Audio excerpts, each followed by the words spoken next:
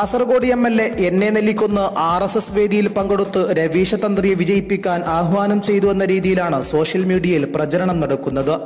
മഞ്ചേശ്വരം ഉപതെരഞ്ഞെടുപ്പ് അടുക്കുമ്പോഴുള്ള ഈ വ്യാജ പ്രചരണത്തിനെതിരെ എം എൽ എ രംഗത്ത് വന്നിരിക്കുകയാണ്. രവീശ തന്ത്രി കഴിഞ്ഞ പ്രാവശ്യം കാസർഗോഡ് മണ്ഡലത്തിൽ തനിക്കെതിരെ മത്സരിച്ചിരുന്നു.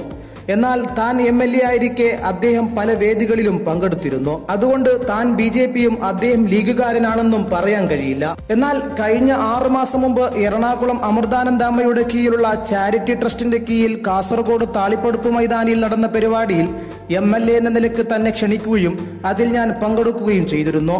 അതിന്റെ ചിത്രമാണ് സോഷ്യൽ മീഡിയയിൽ പ്രചരിക്കുന്നതെന്നും ട്രസ്റ്റിന്റെ കീഴിലുള്ള പരിപാടിയും R S S B J പിയുടെ പരിപാടിയും തിരിച്ചറിയാത്ത കൂപ്പമന്തുകങ്ങളുടെ വ്യാജ പ്രചരണത്തിന് ആരും വില കൊടുക്കില്ലെന്നും അദ്ദേഹം പറഞ്ഞു. അതെ അതെ അപ്പൊ അദ്ദേഹവുമായി ഞാൻ പല വേദികളും പങ്കിട്ടിട്ടുണ്ട്.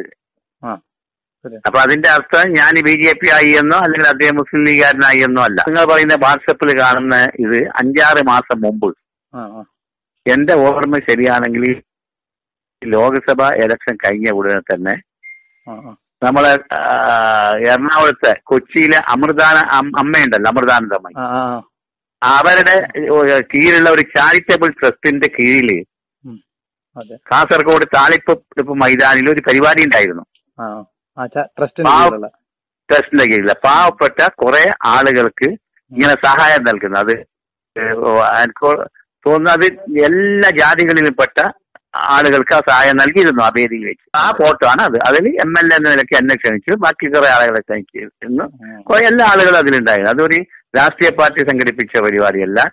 രവീഷ് തന്ത്രി പരി- സംഘടിപ്പിച്ച പരിപാടിയല്ല. അമൃതാന്തമയിലെ ട്രസ്റ്റിന്റെ കീഴിൽ ഈ നടത്തിയ ഒരു ജീവകാരുണ്യ പ്രവർത്തനമാണത്.